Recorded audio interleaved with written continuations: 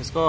ये टाइट मारने से हो जाएगा टाइट मारना पड़ेगा अच्छा, मार कीजिए ना भाई लीकेज है हाँ हाँ कर दिया हूँ